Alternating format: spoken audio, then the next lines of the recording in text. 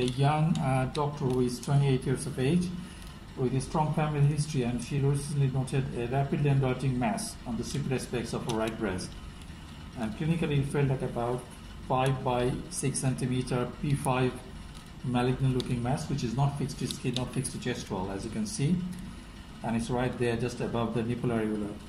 Um, and uh, she has had triple assessment done and uh, subsequently found to have a grade 3 invasive ductal cancer and we're waiting immunocytochemistry and uh, she is going to have all these staging investigations done and require neoadjuvant chemotherapy route um, because uh, neoadjuvant chemotherapy may lead to complete shrinkage of the tumor then which may uh, lead to unnecessary mastectomy uh, we are going to insert under local anesthetic a marker clip. So here is the marker clip. How Nafisa can you show us? So this is the marker clip, the plunger, and the hydrogel marker is right inside. Um, and we are going to insert this now. So this much we're going to insert. Mirroring. Yep. Right there this much. Okay? Hmm. Done? Okay. So now it's going in. same. I can see.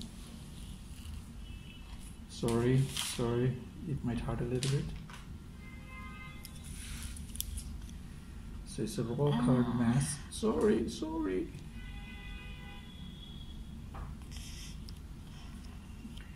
So now it's gone in. You have to swap the piece in the whole color, press color. Okay. I'm just going to retract.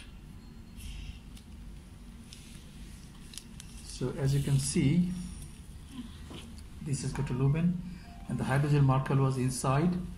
So as I have pushed it, you could see inside it pushes the hydrogel marker into the cancer at the center. So that hydrogel marker is visible on ultrasound or mammo in both way. So even if she has got complete clinical and radiological response, we should be able to perform a breast conserving surgery with the help of a wire-guided wide local excision. So this is all done.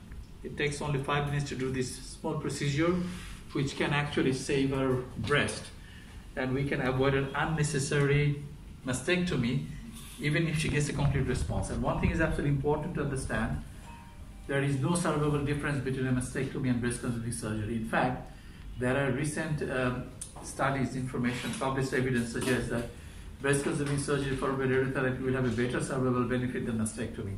And she's quite young, she deserves a natural breast as much as possible without compromising oncological safety. So, best wishes for her.